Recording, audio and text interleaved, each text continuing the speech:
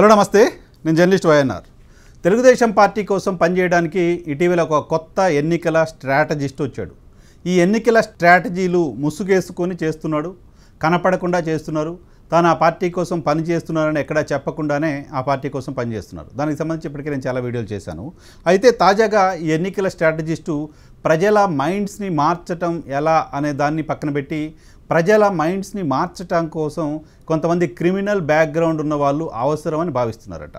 ఉమ్మడి కడప జిల్లాకు సంబంధించిన రెండు నియోజకవర్గాలలో తెలుగుదేశం పార్టీ గెలవాలంటే ఓ వైఎస్ఆర్ కాంగ్రెస్ పార్టీకి సంబంధించిన నేత అవసరం వచ్చింది ఆయనకి.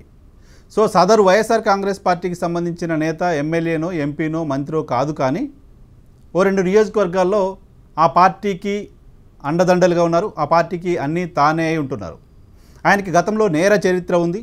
దాదాపు రెండు దశాబ్దాల నేర చరిత్ర సదరు వైఎస్ఆర్ కాంగ్రెస్ పార్టీ ఉమ్మడి కడప జిల్లాకు సంబంధించిన నేతకు ఉంది. సో ఆ నేత బంధు ఒకరికి తెలుగుదేశం పార్టీ టికెట్ ఆఫర్ చేసింది కడప జిల్లాలోని ఓ అసెంబ్లీ స్థానం నుంచి. టికెట్ ఆఫర్ చేసిన సందర్భంలో తెలుగుదేశం పార్టీలో నంబర్ టూ మరికొంతమంది కలిసి ఆయన దగ్గర ఒక ఐదారు కోట్ల రూపాయలు డబ్బులు కూడా తీసుకున్నారు. తీసుకున్న తర్వాత టికెట్ ఇవ్వట్లేదు టికెట్ ఇవ్వలేమని చెప్పేశారు. టికెట్ ఇవ్వకపో పోయినా కూడా నువ్వు మా కోసం పనిచేయాలి నువ్వు మా కోసం పని చేయకపోతే మీ సంగతి చూస్తామంటూ సదరు ఎన్నికల స్ట్రాటజిస్టు ఆ తెలుగుదేశం పార్టీకి సంబంధించిన నేతకు వార్నింగ్ ఇచ్చారు. ఆ తెలుగుదేశం పార్టీకి సంబంధించిన నేతకు ఇంతకుముందు నేను చెప్పిన వైఎస్ఆర్ కాంగ్రెస్ పార్టీ కోసం పనిచేస్తున్న క్రిమినల్ బ్యాక్గ్రౌండ్ ఉన్న నేతకు బంధుత్వం ఉంది. సో ఆ తెలుగుదేశం పార్టీ నేతను ఎన్నికల స్ట్రాటజిస్ట్ ఆదేశించాడు. మీ బంధువైన సదరు వైసీపీ నేతను పట్టుకొని ఇమీడియట్గా హైదరాబాద్కు వచ్చేసాయి. హైదరాబాద్లో మీతో మాట్లాడేది ఉంది అని. ఆ తెలుగుదేశం పార్టీకి సంబంధించిన నాయకుడు ఒక పెద్ద వ్యక్తి హైదరాబాద్లో మీతో మాట్లాడాలంటున్నారు. మీరు రండి మీరు వస్తే నాకేదో లాభం జరుగుతుంది అంటూ ఆ వైఎస్ఆర్ కాంగ్రెస్ పార్టీకి సంబంధించిన నేతను కాకుండా ఆ నేత బంధువుని వెంట హైదరాబాద్కు వచ్చారు. హైదరాబాద్లో తెలుగుదేశం పార్టీకి సంబంధించిన కార్యాలయం సమీపంలోనే ఒక అపార్ట్మెంట్లో మీటింగ్ ఆర్గనైజ్ చేశారు. ఆ మీటింగ్లో ఈ క్రిమినల్ బ్యాక్గ్రౌండ్ ఉన్న నేతకు సంబంధించిన బంధువు తెలుగుదేశం పార్టీ టికెట్ ఆశించిన మరో వ్యక్తి సదరు ఎన్నికల స్ట్రాటజిస్టు తెలుగుదేశం పార్టీ కోసం పనిచేస్తున్న శాంటన్ అనే మరో ఎన్నికల స్ట్రాటజిస్టు కలిసి కూర్చున్నారు చర్చిస్తున్నారు. సో చర్చిస్తున్న సందర్భంలో కొత్తగా తెలుగుదేశం పార్టీకి స్ట్రాటజిస్ట్గా వచ్చిన పెద్ద మనిషి వార్నింగ్లు ఇవ్వడం మొదలుపెట్టారు. మీరు తెలుగుదేశం పార్టీ కోసం పని చేయకపోతే మీ సంగతి చూస్తాం. మీరు ఎర్రచందనం స్మగ్లింగ్ ఎలా చేస్తున్నారో నాకు తెలుసు. మీరు చేస్తున్న క్రిమినల్ దందాలన్నీ మాకు తెలుసు. మేము అధికారంలోకి వస్తున్నాం.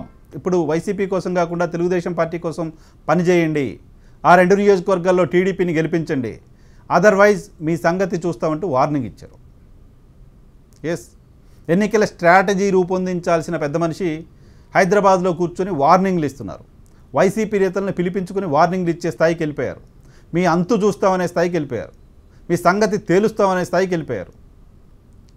సో ఆ మనిషికి కొత్తగానే కడప జిల్లాకు సంబంధించి నేర చరిత్ర ఉన్న సదరు వైఎస్ఆర్ కాంగ్రెస్ పార్టీకి సంబంధించిన నేత వాళ్ళ బంధువులు వాళ్ళకి ఇవి కొత్త కాదు కదా. చాలా చూసుంటారు ఇప్పటికే ఈ రెండు దశాబ్దాల్లో. మిస్టర్ ఎలక్షన్ స్ట్రాటజిస్ట్ నీలాంటి వాళ్ళని చాలామందిని చూసాము నువ్వు మా సంగతి చూడడం ఏమో పక్కన పెట్టు. నీలాంటి వాళ్ళ చాలామంది సంగతి మేము చూసాము గతంలో ఇలాగే ఒక ఐపీఎస్ ఆఫీసర్ వచ్చి మా నోట్లో తుపాకీ పెట్టి మమ్మల్ని బెదిరించాడు. దాన్నే పట్టించుకోలే. మమ్మల్ని తీసిపోయి సంవత్సరాల తరబడి జైల్లో పెట్టి చీకటి గదుల్లో వేశారు. దాన్ని పట్టించుకోలే. ఇప్పుడు నువ్వు వచ్చి వార్నింగ్ ఇస్తే నీకు భయపడిపోయి నీకు పార్టీ కోసం నీ కోసం పనిచేస్తామా వైఎస్ఆర్ కాంగ్రెస్ పార్టీ పట్ల మాకు అసంతృప్తి అంతో ఇంతో ఉంది. వైఎస్ఆర్ కాంగ్రెస్ పార్టీ కోసం రెండు వేల పంతొమ్మిదిలో పనిచేసిన స్థాయిలో ఇప్పుడు పనిచేయాలా లేదా అని మేము ఆలోచిస్తున్నాం. కానీ నీ వార్నింగ్ తర్వాత డిసైడ్ అయ్యాం ఆ రెండు నియోజకవర్గాల్లో తెలుగుదేశం పార్టీ నెట్టి పరిస్థితిలో గెలవనీయకూడదు అని. ఆ రెండు నియోజకవర్గాల్లో తెలుగుదేశం పార్టీ ఓటమి కోసం మరింత రెట్టించిన ఉత్సాహంతో పనిచేస్తాం. నీ వార్నింగ్లు ఇంకెక్కడైనా వేరే రాష్ట్రాల్లో పెట్టుకో. ఇది ఆంధ్రప్రదేశ్. ఇలాంటి వాళ్ళని చాలామందిని చూసామంటూ సదరు ఎన్నికల స్ట్రాటజిస్ట్కి రివర్స్ వార్నింగ్ ఇచ్చి వెళ్ళిపోయారు వైఎస్ఆర్ కాంగ్రెస్ పార్టీకి సంబంధించిన నేత. ఇది రాయలసీమ ప్రాంతంలో చాలా పెద్ద హాట్ టాపిక్ ఇప్పుడు. రాజంపేట పార్లమెంటు పరిధిలో చాలా పెద్ద హాట్ టాపిక్ ఇప్పుడు. సో కొంతమంది నేర చరిత్ర ఉన్న వాళ్ళని కూడా పిలిచి వార్నింగ్లు ఇచ్చే స్థాయికి ఎలక్షన్ స్ట్రాటజిస్ట్ వెళ్ళిపోయారంటే ఇక కూటమిని గెలిపించడం కోసం మనం ఏం స్ట్రాటజీ చేయలేము మన స్ట్రాటజీలు ఏమీ పనిచేయవు కాబట్టి వార్నింగ్లు ఇస్తూ కాలం గడిపేద్దాం అనుకుంటున్నారేమో తెలియదు సో ఎన్నికల స్ట్రాటజిస్ట్ చేయాల్సింది స్ట్రాటజీ రూపొందించడం కదా. ప్రజల్ని ఎలా ఆకట్టుకోవాలో దానికి సంబంధించిన ఐడియాలు చెప్పడం కదా. ప్రజలకు దగ్గర అవ్వడానికి సంబంధించి ఏం చేస్తే బాగుంటుందో చెప్పడం కదా. ప్రజలను బెదిరించైనా ఓట్లు వేయండి అంటూ నేర చరిత్ర ఉన్న వాళ్ళను ఆశ్రయించే పరిస్థితికి సదరు ఎన్నికల స్ట్రాటజిస్ట్ వెళ్ళిపోయారు అంటే కూటమి పరిస్థితి తెలుగుదేశం పార్టీ పరిస్థితి ఏ రకంగా ఉంది అనేది అర్థం చేసుకోవచ్చు. సో ఈ వార్నింగ్ విషయం తెలిసిన తర్వాత పెద్ద ఆయన చంద్రబాబు నాయుడు గారు టెన్షన్ పడిపోయారు.